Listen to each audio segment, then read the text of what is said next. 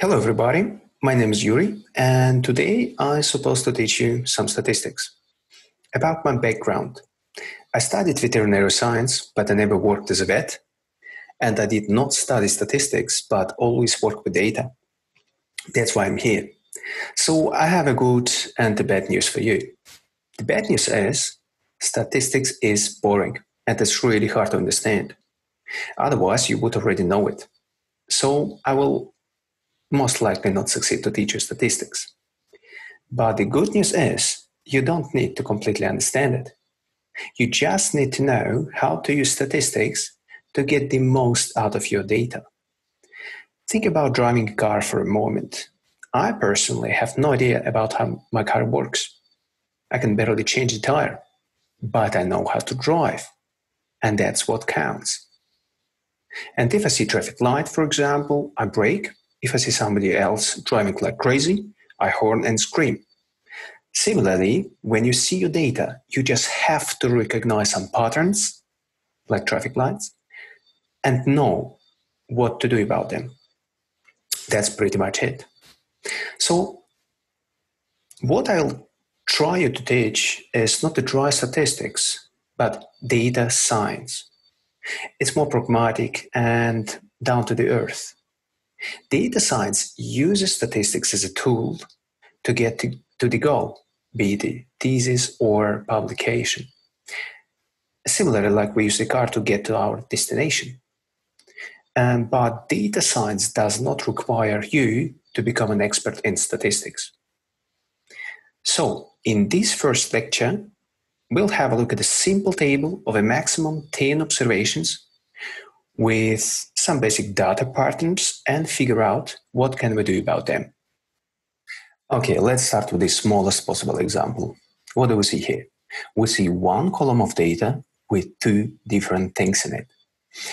Since it is not one thing but two, the data vary from yes to no. This is why every column in your Excel sheet is called variable. So let's call it a variable. And your column can have thousands of rows, but we still have only two words in it yes and no. These two things in the column is very common. It can be zero and one, control of treatment, failure or success. And these two things are two categories of your variable. That is why variable one is called categorical variable. It also often called binomial variable because there are only two things.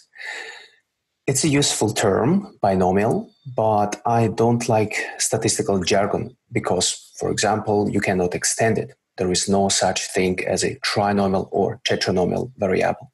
So don't be confused by these statistical terms. Just continue learning.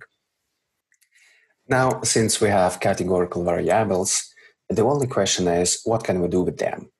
And um, the only answer is we can count them, nothing more. And are these counts useful? Well, yes, if we count our huge table, we have seven no's and three yeses. It already gives us some information. But what can we do with these counts? Well, we can get proportions or probabilities from them. It sounds fancy, but probabilities are actually just counts. And imagine an example. We ask 10 farmers whether they like sustainable agriculture or not. And only three of them said yes, and seven said no. So it couldn't be simpler as that. 30% of our, of our farmers support sustainable agriculture and 70% doesn't. And the last question is Are these proportions real? Can we trust our dat- data we collected?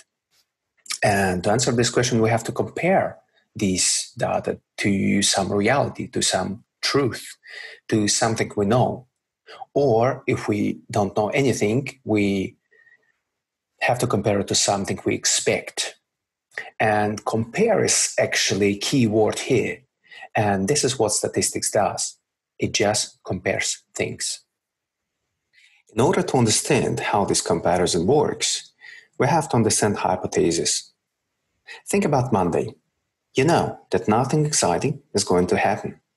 You go to work, you get home, you watch some Netflix, done. It's not bad, but it's zero exciting or null exciting. And that is our null hypothesis, where nothing new happened. Now, think about Saturday. Compared to Monday, something exciting might actually happen. You meet a friend, you go for a hike, you go out. And this is a nice alternative to boring Monday. And that is our alternative hypothesis. And only by comparing Monday to Saturday, you know that your Saturday is different and you experience something new. The same is with data. If you already know something, it's your null hypothesis. If you don't expect anything to happen, it's your null hypothesis. If you compare things, no difference is your null hypothesis. When you collect some new data, you expect nothing new, which is your null hypothesis. But you hope that your new data shows something new, and that is your alternative hypothesis. And only comparison between things can tell you whether you found something new or different. Okay, let's compare our Monday and Saturday. The probability that Tuesday will be similar to Monday is very high. And the probability that Saturday will be similar to Monday is very low. This probability is a p-value. Thus, p-value is simply a measure of similarity between things. High p-value means things are similar. Low p-value means things are different. When are things significantly different? Um, well, below or above 5% of similarity. This threshold was chosen by Ronald Fisher arbitrarily, doesn't have any scientific background, but it's stuck in science and we use it all the time. And that means that when the similarity of your days is below 5%, your days are significantly different. And when the similarity of your days is above 5%, your days are similar. So let's conduct our first statistical test. In this test, we compare our data we collected to what we know or expect to be true. What we expect is that the half of the farmers will say that they support sustainable agriculture and the half wouldn't. And this is our null hypothesis. What we observed or the data we collected is that only 30% of farmers support sustainable agriculture. So, how exactly can we compare two things in our binomial variable? I'm glad you asked, because there is a test for it. It's the exact binomial test. So, this test shows us that we asked 10 farmers what they think, and only three of them said yes, they support sustainable agriculture. And despite the fact that three, three and seven are far apart from each other, or 30% is really far from 70%, it's not what we compare. What we compare is 30% to 50, which is a null hypothesis, and 70% to 50. And now you can see that the difference is not that high. And now I hope you can understand that the p value is really huge, which again shows the similarity between things. Namely, it shows that uh, we have no difference in our data from the null hypothesis. So we found nothing new. Another interesting test which can do the same thing is a Pearson chi-square goodness of fit test. It's a fancy name, but it actually does the same thing. It takes our data, 3 and 7, and compares it to the expected data, 5 and 5. And you might ask, why do we need actually two things doing the same job? Well, um, binomial exact binomial test is really cool, but it has a problem and can only work with two categories. As soon as we have more than two categories, it's not binomial anymore, so we cannot use this test. And that is why we need a chi-square test. Moreover, this chi-square test can be used between two different categorical variables. And that's why I'm presenting it here. You will see this test a lot. So remember chi-square test. And here's the example with two different categorical variables. In variable one, we have yes and no. We already counted it. And imagine a different variable with three different categories, low, middle, and high. So the chi-square test can actually check the association between two categorical variables, which can have two or more categories.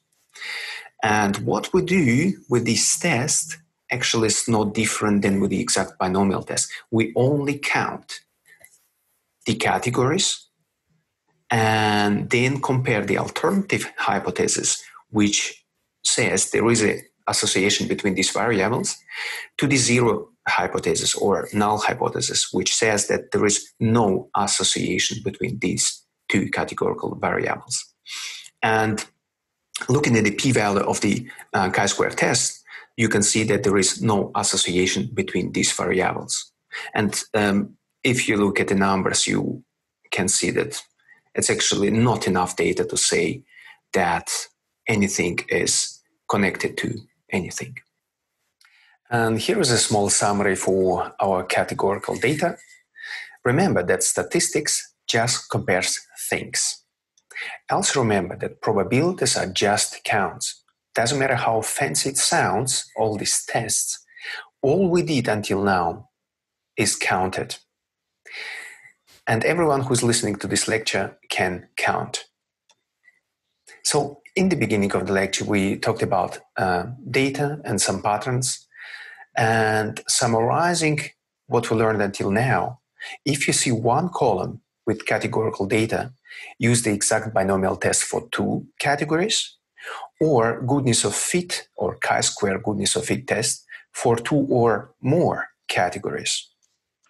If you see two columns with categorical data, simply use chi-square association test. And if you see a column with numbers, just go to the next slide and we'll cover it. Well, in the first variable, we had just two different things, yes and no. In the second variable, we have three different things, low, middle, and high. And in the third variable, our numerical data, we have 10 different things. Is it more complicated? Well, not really. It's even easier than the categorical variables because we can express all of these numbers in one single number, mean or median. And this is how it goes. Let's imagine then variable 3 measures the IQ of farmers, which were asked about the sustainable agriculture. And we can see that on average, the farmers who said yes to sustainable agriculture have a higher IQ. It makes kind of sense because um, why would you say no to sustainable agriculture? It's sustainable. But I was sure about our average. Can we judge two groups or compare two groups and the, their smartness uh, just with two numbers? Well, no. We need some kind of uns- measure of uncertainty for it. That's why we have a confidence intervals. Um, the more data we have, the more certain are we about our mean, and the s- smaller confidence intervals are. And the less data we have, the less certain are we about our mean, and the wider the confidence intervals are. So my initial initial impression that farmers who said yes to uh, sustainable agriculture are smarter is actually not true, and that's how you know it. It's a little trick I uh, always apply uh, for comparing groups. If the confidence intervals overlap, like in our example, there is most likely no statistically um, statistical difference between the groups. Only tests can show, so we uh, still need to, to do a test. But uh, usually it's the case. And if the confidence interval, uh, intervals don't overlap, there might be a statistical difference. But again, only tests can tell. So, summarizing this small um, group comparison, we can say that numerical data can be uh, really conveniently expressed in one single number, mean or median. This number is the best estimation of triviality and representation of the group or the variable. We still need some kind of uncertainty uh, about this number or measure of uncertainty about this number. And usually it is confidence intervals or standard deviation or standard error. More data means more confidence and smaller intervals, which is always good. And all the tests do, they just compare means and their confidence intervals with each other. How do they do this? How do they decide? How do they decide whether we compare mean or median? Well, it depends on the uh, two things normality of the data and similarity of variances. If you don't really understand them now, it's okay, you don't have to. I only show one picture before we go to the uh, comparison of groups. And this picture is about the normality of the data. You see that this data set is normally di- distributed or bell shaped. Um, it is normally distributed because we can take the mean as the best representative for, the, for this data set. This is here because the most of the data is here. However, if the data set is not normally distributed uh, like this one, the mean would not represent the reality really well because the most of the data is here, not where the mean is. That's why we need a median to compare two groups if the data is not normally distributed. And here is our first uh, statistical test for numerical data. It might look complicated, but it's actually not. You already know everything about this plot and all the statistics. First of all, we have two categories which we compare. Um, the farmers who said no to sustainable agriculture and the farmers who said yes to it. We also have numbers. Only three farmers wanted to do sustainable agriculture, and seven farmers didn't. We also have the um, IQ measurements. These are the small points on this uh, plot.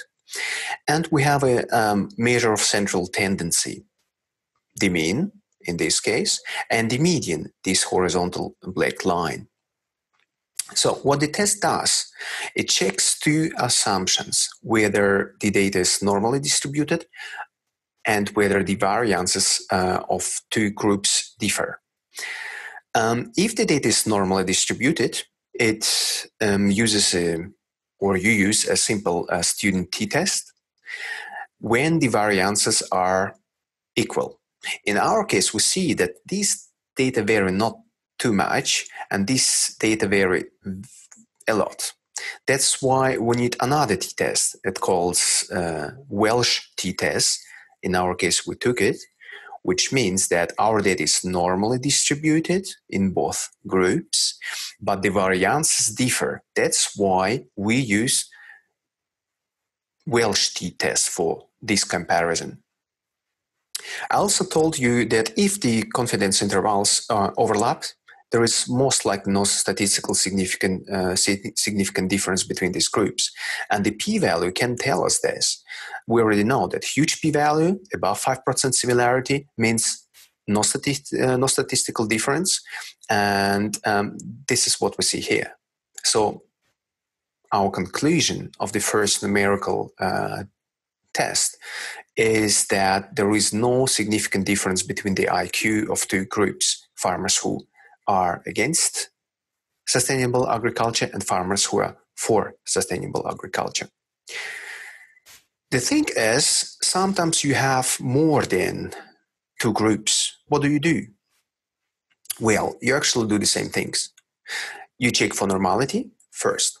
You check for um, homogeneity of variances, whether the variances are similar or not, second. And then you do the test. If the data is normally distributed, you use the ANOVA test. You already heard about this. If the data is not normally distributed, you use a Kruskal-Wallis test. And all these tests do, they just compare different groups. All right, let's have a small summary for the uh, groups comparison. All we did until now, we just compare groups. It Doesn't matter how fancy statistical tests sound, ANOVA, ANOVA model, Kruskal-Wallis test, all they do, they just compare groups.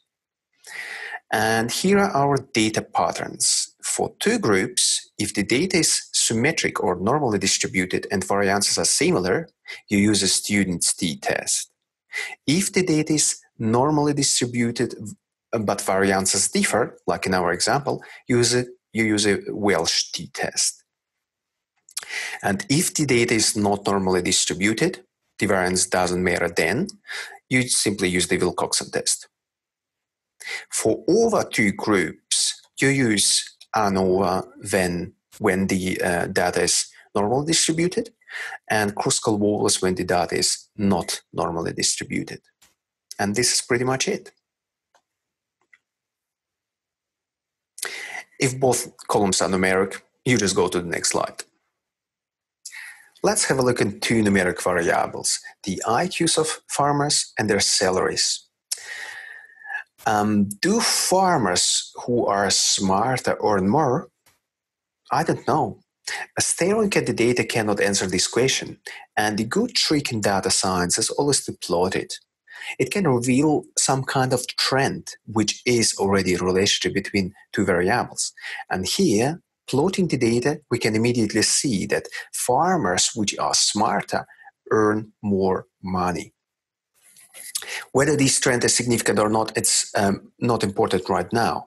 The main thing about correlation is whether the um, variable of our interest, salary in this case, can be predicted by the other variable, IQ. And it actually can.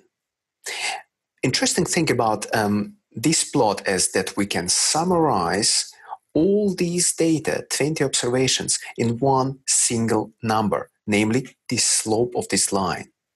This slope can show us that the trend is positive, so the smarter the farmers get, the more they earn. And the last exciting thing about this plot is that compared to previous methods where we just compared things and didn't produce anything new, here we can produce new data. Simply, we can predict the salary out of the IQ of farmers, even for the areas where we don't have any data. And this production of new data is actually production of new knowledge. And producing new knowledge is the essence of science. Here we see the plot for simple linear regression, and it looks suspiciously similar to the correlation plot. And the only question is do we need them both? Well, actually, not. They both do the same thing. They show the relationship between two numeric variables. Um, the only difference is that the correlation is limited. It's limited to two numeric variables, while regression can handle more than two numeric variables, and moreover, it can handle categorical variables in the same time. Uh, for instance, you can predict uh, salary of the farmer depending dependent on number of animals it has on the farm. Uh, when, for example, farmer has a lot of animals on the farm, it earns more than the small farmer. However, a lot of animals bring a lot of problems. That's why the middle farmer has more money. But um, these trends are not significant, you see, because the confidence intervals overlap. Still, we see some trend, and this is already nice um, inference from our model, some new knowledge. We already know this plot. The smarter the farmer is, the more uh, he earns. But this relationship is not significant because the confidence interval throughout the whole range of the IQ values overlaps. All right. Uh, to summarize the numerical data, you have to uh, think about uh, several patterns. For two numeric variables, you can use correlation. If you have more than two numeric variables, correlation doesn't work, so you use linear regression instead. If you have both categorical and numerical var- variables, use linear regression. And here we come to the beauty of numbers. Um, if you have strange numbers like a lot of high numbers and a lot of low numbers, you can simply uh, transfer them into two categories, high and low. And if you have two categories out of the numeric one, you can start to do a categorical analysis with it. So now we can go to the beginning of the lecture and start with the binomial test, with the chi-square test, etc. But we can even compare two groups. And this is the power of numbers. You can make a categorical variables out of the numeric one. However, if you have more than two variables you want to analyze and your variable of interest is categorical, like 0 and 1, yes and no, um, you can do logistic regression. So it's also possible to have a um, categorical variable which can handle um, several numeric ones. For example, let's make a categorical variable out of the numeric one. We take a salary of farmers. And farmers who earn more, have a lot of money, have a low probability of uh, bankruptcy. We'll give them a zero, category zero. Farmers who doesn't earn much have a higher probability of bankruptcy, so we'll give them a one. And the beauty of logistic regression is that it can handle both categorical and numerical variables at the same time and model the probability of bankruptcy for every particular category. For instance, farmers who have a lot of animals has a lower probability of bankruptcy than farmers who have not so many animals. And if we go to the um, numeric variable, um, this is even more interesting that um, farmers with a high IQ have a higher probability of bankruptcy than farmers with a low IQ. It sounds strange and counterintuitive in the first run, but if you think about it, how many not so smart people would st- uh, start business? I don't think many. And people who are uh, smarter, they start more businesses, they uh, take more risks, and maybe that's why they fail more. I don't know. But it's interesting that we can see it um, from the data and we can discuss it in our findings uh, and in our paper. This slide is probably the most important from the whole lecture because here we summarize everything we've learned so far. So, the main idea of this introductory lecture is to um, show you the data and teach you how to see patterns or recognize patterns in these data. Particularly, if you see a column with two th- things in it, um, you think about the exact binomial test. If you see a column with more than two things in it, more than two uh, categories, you think about the chi-square goodness of fit test. If you want to check whether two categorical variables um, have any association between each other, you think about the chi-square test, a simple and usual Pearson's chi-square test. If you want to check whether one numeric variable is dependent on the other, you use either correlation or simple linear regression. For more than one variable, you use a simple or multiple linear regression um, in order to check the salary and the factors which influence the salary. If your salary is not really good as a data, you can transform these data into the probability of bankruptcy, where low salary means high probability of bankruptcy, one, and high salary means low probability of bankruptcy, zero. And having zeros and ones on the two category, you can do logistic regression, which also can check the influence of these different factors on the probability of bankruptcy. So you see, having only two important uh, methods in your statistical toolbox, multiple linear regression and multiple logistic regression, can solve 95% of your statistical questions. here is just the same what I just explained in words for you if you want to check this later. And last thing I want to say is don't judge your statistical abilities too hard. There are two things which make statistics complicated the terminology, which can be confusing, and mathematics, which you actually don't need because we have uh, calculators, we have computers uh, which do the work. So remember, statistics is not a big deal. The last thing uh, I want to present to you is p hacking. It's very important because um, it can make the research good or bad. And the example of good research is to theorize some effect you want to study, collect the data, test that effect, and see if the p value is small. If the p value is small, you can publish it and be really confident about your findings. But if the uh, data is first collected without um, a purpose, but with general idea, then you have a lot of variables you can check. And then you test many of these different effects. And of course, you find something what is significant, and you publish these uh, significant fi- findings as um, the thing you originally wanted to publish.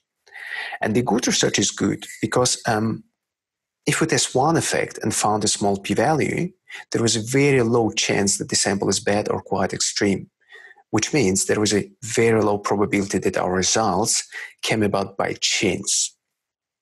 However, if you test 20 different effects, um, this provides 20 opportunities to get a bad sample. And thus, um, it becomes statistically almost guaranteed that at least one of these 20 effects will be extreme or significant. Such low p values are not real, but due to bad luck. Please be aware of it. So, the last sentence is if stats seems impossible to grasp, remember, you don't need to understand how the car works, you just need to know how to drive.